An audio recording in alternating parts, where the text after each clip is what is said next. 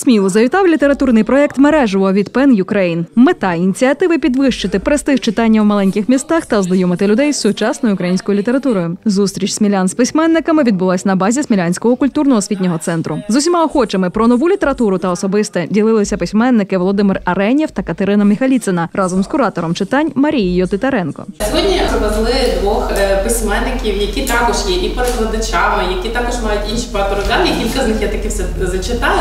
Почну від Катерини Михаліціної, письменниця поетка, я б тут зауважила, перекладачка, е, координаторка Литовської письменницької ініціативи допомоги Україні. Можемо про це її пізніше розпитати. Волонтерка. Е, Волонтери 24 на 7.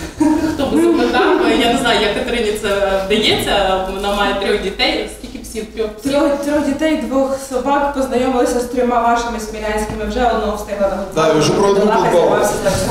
Це окремо говорить, проїхали. Е, Так, отже, це така волонтерка в квадраті, в кубі, знаєте, і так далі. Приклала близько 50 книжок, зокрема Толкіна. Авторка кількох збірок поезії та понад 20 дитячих книжок, декотрі привезла е, з собою.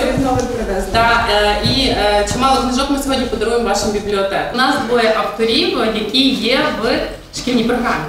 Та так, до речі. Отже, тепер про Володимира Аренєва, Е, письменник, журналіст, кіносценарист, перекладач. Е, Що там ще забула я? Викладач. Автор понад 30 книжок. Е, Пише наукову фантастику, фентезі як для дорослих, так і для підлітків дітей. Лауреат багатьох багатьох премій. Зокрема, я все-таки прочитаю це Єврокон, бо це важливо. Європейська премія за фантастику. Окрім того, книга року BBC. Твори перекладені багатьма мовами, я думаю, більше 10. М, Ну, Вказано 10, але щось мені здається, що більше. Був сценаристом фільму Сергія Проскурні Тарас Шевченко Ідентифікація, серіалу Five Bucks in Net, чи 5 баксів читати, як Five bucks. Five. Е, Кількох комп'ютерних ігор. Хто цікавиться, може собі теж давати готувати запитання. Ну і теж член українського пані. Ми дуже і дуже хочемо е, цієї розмови, і Катерина не даремно сказала. Нам е, важливо, що ви думаєте. Ви можете не тільки запитувати, а й ділитися своїми досвідами, своїми болями, тому що ми тут і для того, щоб слухати вас також. І нам це цікаво. Зустріч проходила в невимушеній дружній атмосфері. Автори охоче вели діалог з залом, в якому виявилось достатньо шанувальників літературних доробків самих письменників. Мені дуже сподобалося шведське фентезі сама тема. У мене питання не хотіли би спробувати якісь інші жанри писати. В цьому є величезний такий е, величезна насолода, що можеш весь час е, обирати щось нове. У мене є, наприклад, книжка, е, яка поєднує собі фентезі і нонфікшн взагалі. От для тих, хто хоче писати, коли я починав писати, не було майстер-класів, не було. Ну, нічого майже не було. Та, тобто я навчався просто в, е, по книжках. Ну, я читав книжки і навчався з цих книжок. Як писав, писав Кінг, як писав Толкін, як писав Джеральд Даррелл.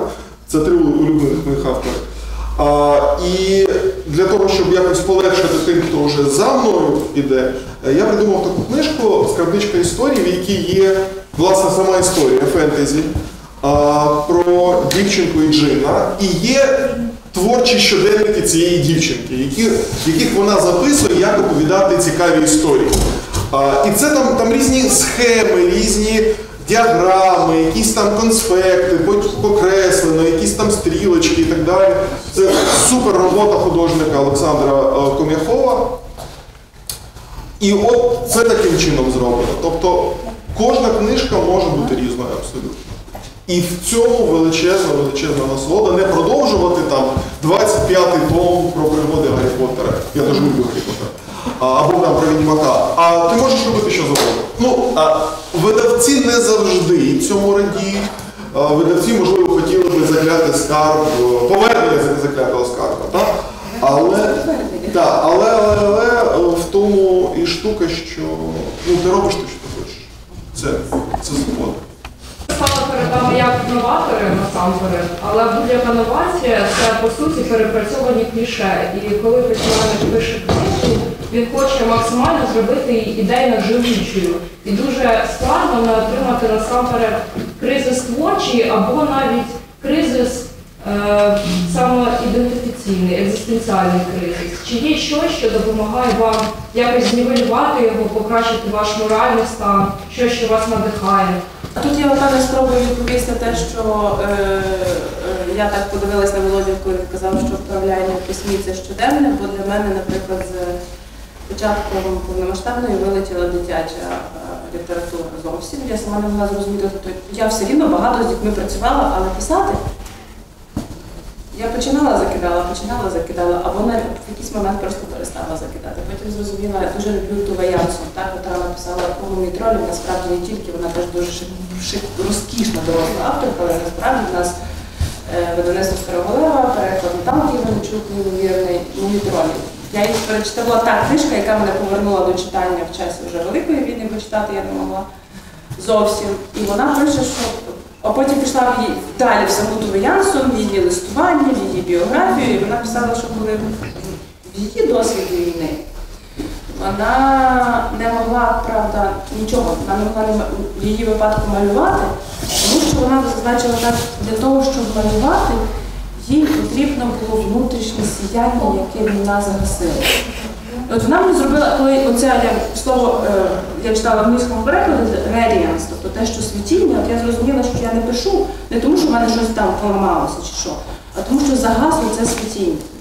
І якщо я тут, як, ну, от як воно десь з'явиться, якщо я знайду точку відновлення, то це не назавжди, воно з'явиться назад текст.